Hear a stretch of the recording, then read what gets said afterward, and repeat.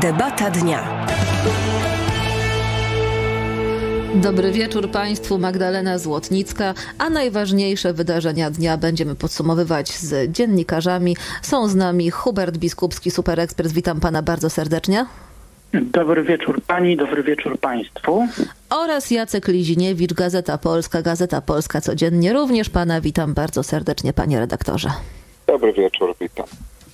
Panowie, cały czas trwają dyskusje o ewentualnym wiązaniu praworządności i budżetu Unii Europejskiej. E, cały czas trwają też negocjacje. E, głos zabrał w tej sprawie George, so George Soros, e, którego zdaniem najlepszą radą na to, by obejść weto Polski i Węgier jest wyemitowanie przez Unię Europejską obligacji wieczystych. Takie obligacje miałyby stanowić taki kapitał, który byłby pożyczony w ten sposób przez Unię od światowej finansjery i nigdy nigdy nie podlegałby on spłacie, należne byłyby za to roczne odsetki wieczyście. Jak panowie oceniają tę koncepcję? Czy ona jest wykonalna w świetle traktatów europejskich? E, I czy George Soros powinien zabierać głos w tej sprawie? Zaczniemy od Huberta Biskupskiego. Odpowiadając na drugie pytanie, generalnie każdy ma prawo zabierać y, głos y, w tej sprawie, co nie znaczy, że każdego głosu należy z równą y, atencją y, słuchać. Natomiast jeżeli chodzi o odpowiedź y, na pierwsze pytanie, to szczerze mówiąc nie, nie wiem, czy jest to zgodne z traktatami, czy takie rozwiązanie byłoby zgodne z traktatami europejskimi i czy byłoby akceptowalne przez państwa członkowskie. Natomiast z tych doniesień prasowych między innymi Frankfurter Allgemeine Zeitung wynika, że trwają prace, o czym zresztą też pisały i donosiły polskie media, że trwają y, prace nad y, wariantami, y, które, które, które, które miałyby zostać wprowadzone w życie w sytuacji y, weta polskiego i węgierskiego i obejścia y, zbudowania takiej, y, takiej, takiej obwodnicy, takiej odnogi, która umożliwiłaby konsumpcję tych pieniędzy z Funduszu Odbudowy z pominięciem Polski i Węgier i to rozwiązanie, te rozwiązania, te propozycje, one niestety przeciwieństwie, myślę, do koncepcji pana Sorosza mają y, olbrzymią szansę y, realizacji, bo powstają w y, Brukseli i umożliwiają konsumpcję tych środków kosztem Polski i Węgier. Także Paolo Gentiloni, y, komisarz do spraw gospodarczych, mówił o tym, że Unia Europejska będzie dążyć do uruchomienia unijnego pakietu pomocowego dla gospodarki po epidemii, nawet jeżeli Polska i Węgry nie zaprzestaną prób zawetowania tego projektu. E, czy to jest wykonalne zdaniem Jacka Liziniewicza?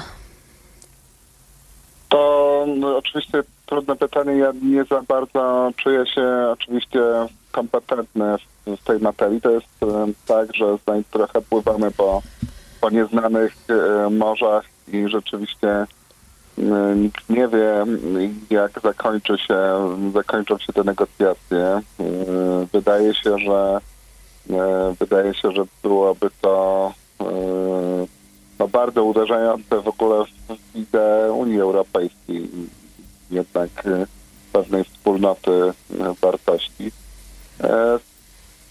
i wspólnoty ekonomicznej, wolności e, rynku i pewnego solidaryzmu europejskiego. I wydaje mi się, że e, patrząc z tej, e, z tej perspektywy, no i byłoby to, to, to jest to pewna jakaś forma budowania nacisku na, na Polskę i na, i na Węgry.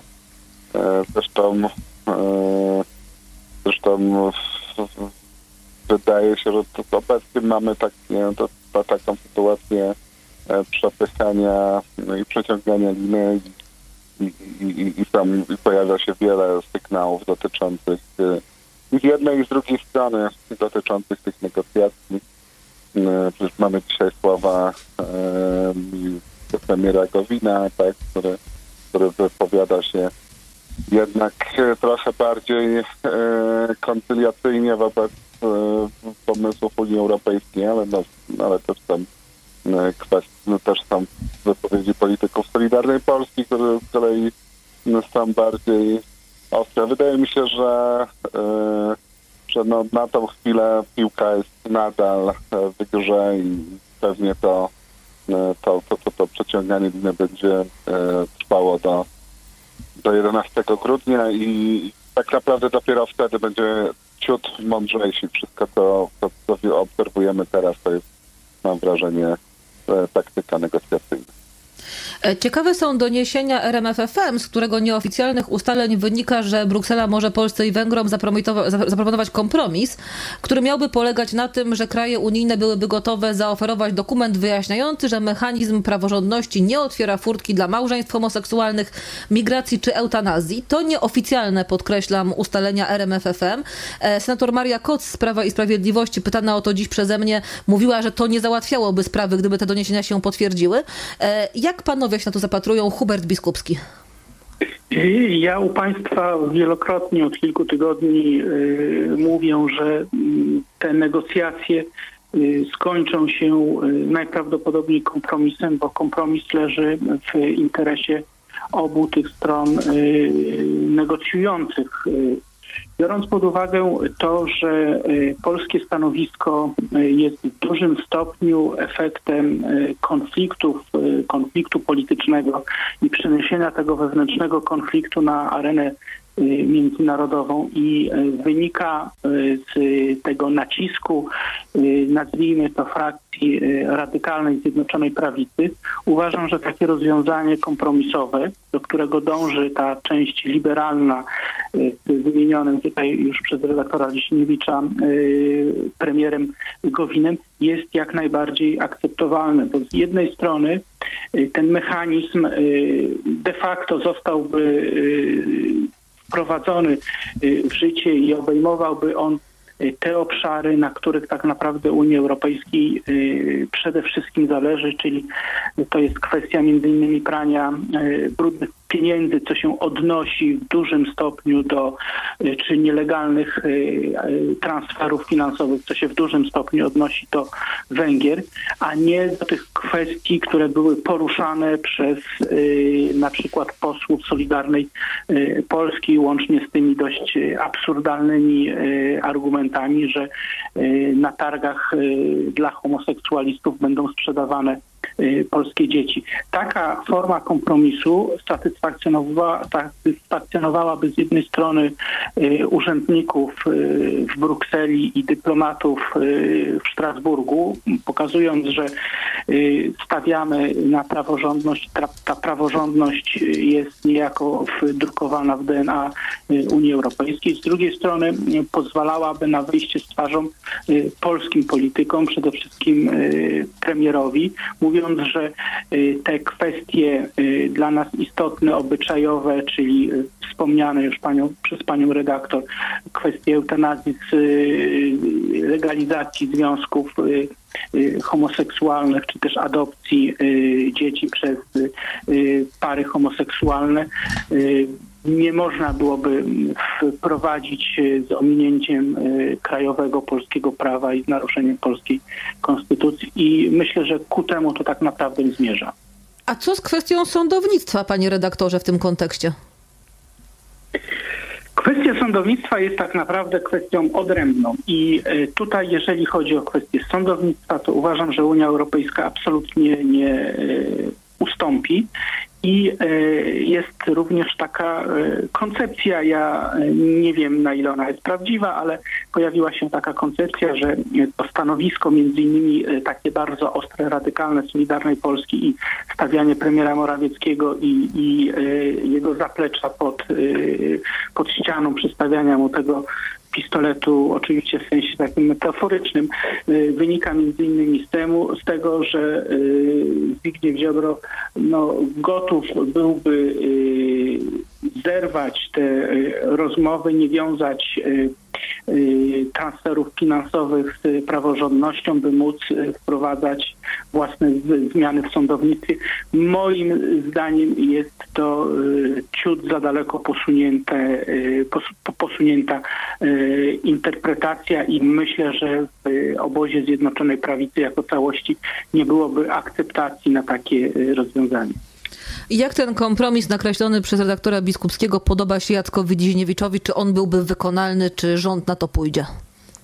Powiem szczerze, nieszczególnie mi się podoba, bo oznaczałoby, że e, Ministerstwo Sprawiedliwości Polski można by było po prostu zamknąć, bo skoro nie można przeprowadzić jakiejkolwiek reformy bez zgody Unii Europejskiej, to oznacza to, że jest to ministerstwo e, niepotrzebne. Znaczy, to znaczy, że, e, że ten system że, że w zasadzie e, sędziowie będą sobie sami siebie wybierać i, i udawać, że, że wszystko jest wspaniale w polskim sądownictwie, bo, bo ja przypomnę, że reforma sądownictwa obiecana przez e, Prawo i Sprawiedliwość nie wynikała z tego, że, że Polacy byli super zadowoleni z działania systemu sądownictwa, tylko wręcz przeciwnie, byli gremialnie z niego niezadowoleni. E, i oczekiwali zmian e, w tej materii. Jak się okazuje, oczywiście nadal są niezadowoleni, mimo że 5 lat e, próbuje się to sądownictwo zmieniać, no ale między innymi temu, dzięki temu, że, że Unia Europejska zachowuje się tak, jak się zachowuje, to się nie udaje.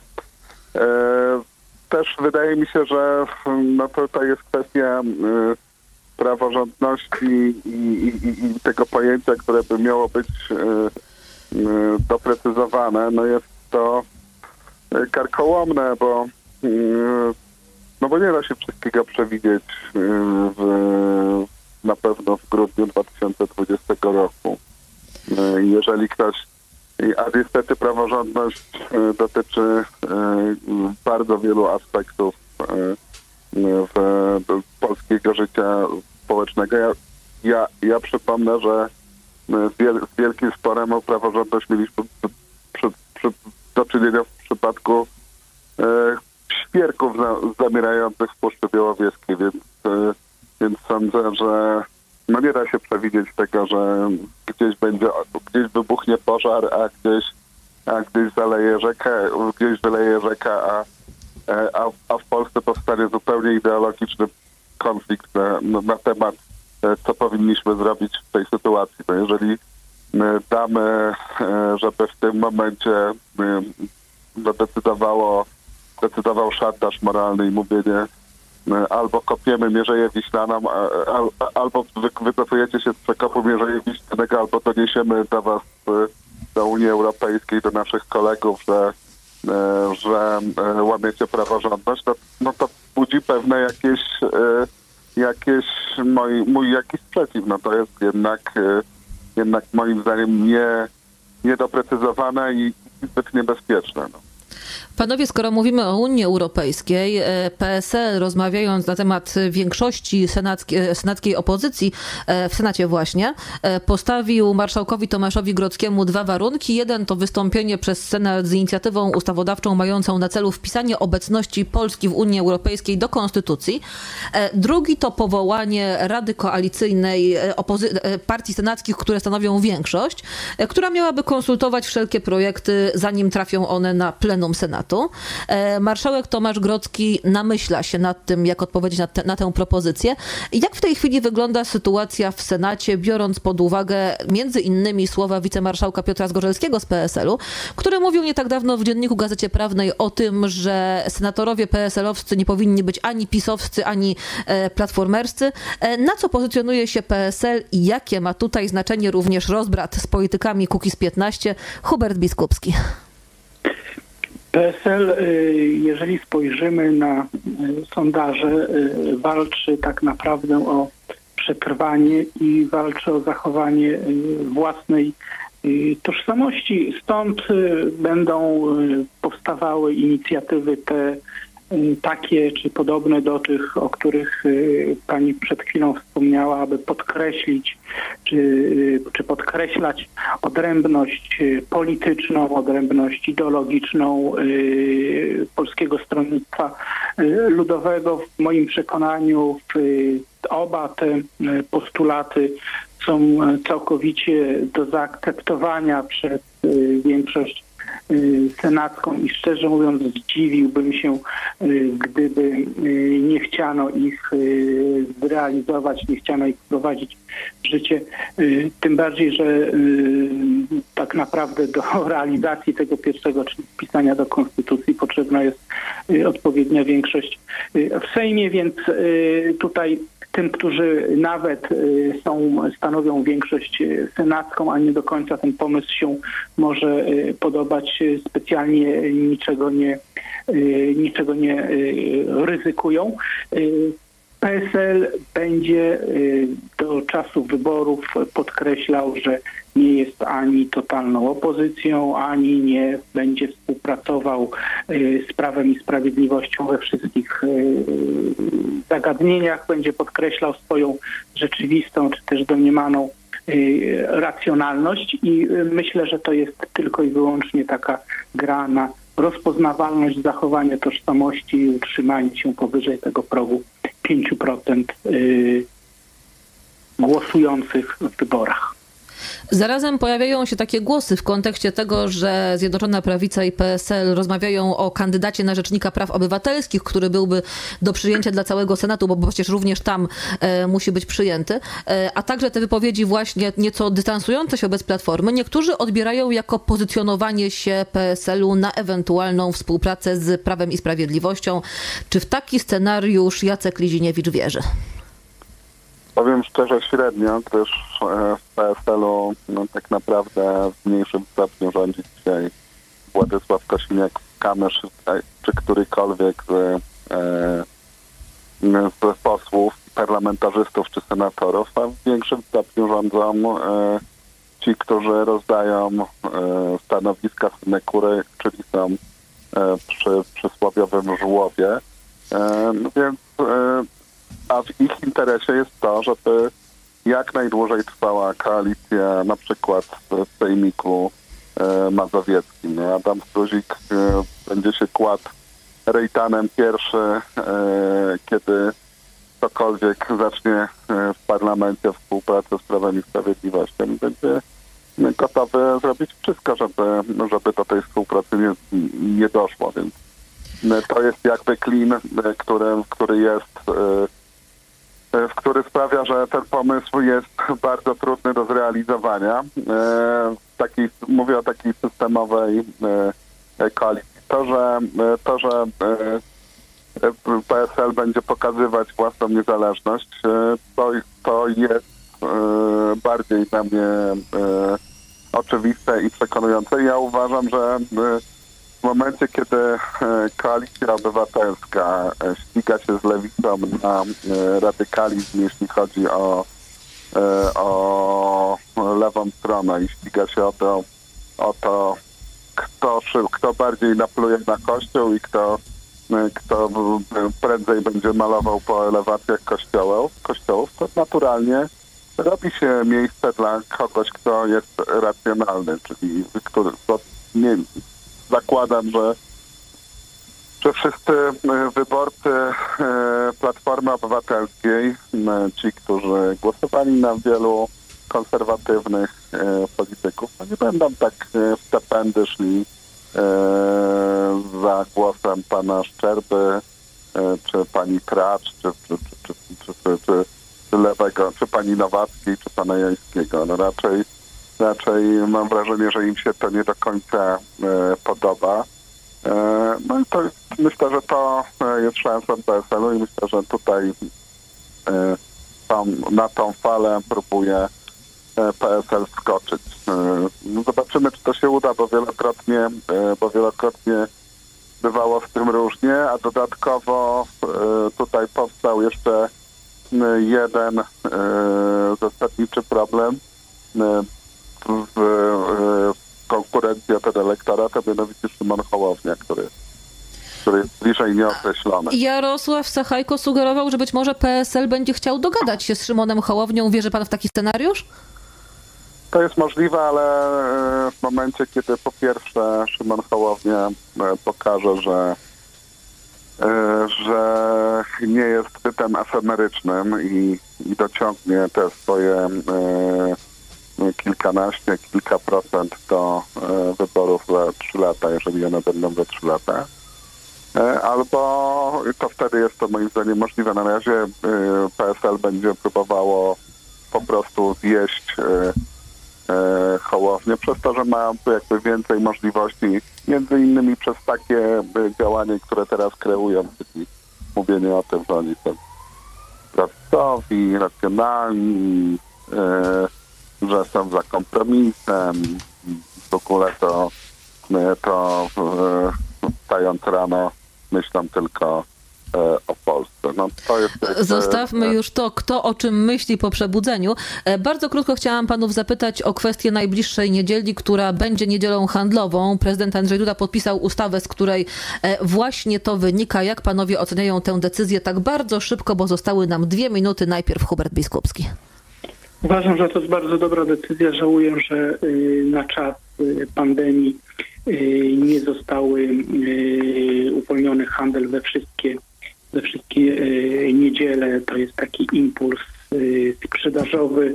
To jest szansa na, na to, żeby właściciele sklepów, handlowcy mogli się odbić po tym dramatycznie ciężkim y, czasie i, i y, odzyskać, odzyskać część utraconych y, wpływów.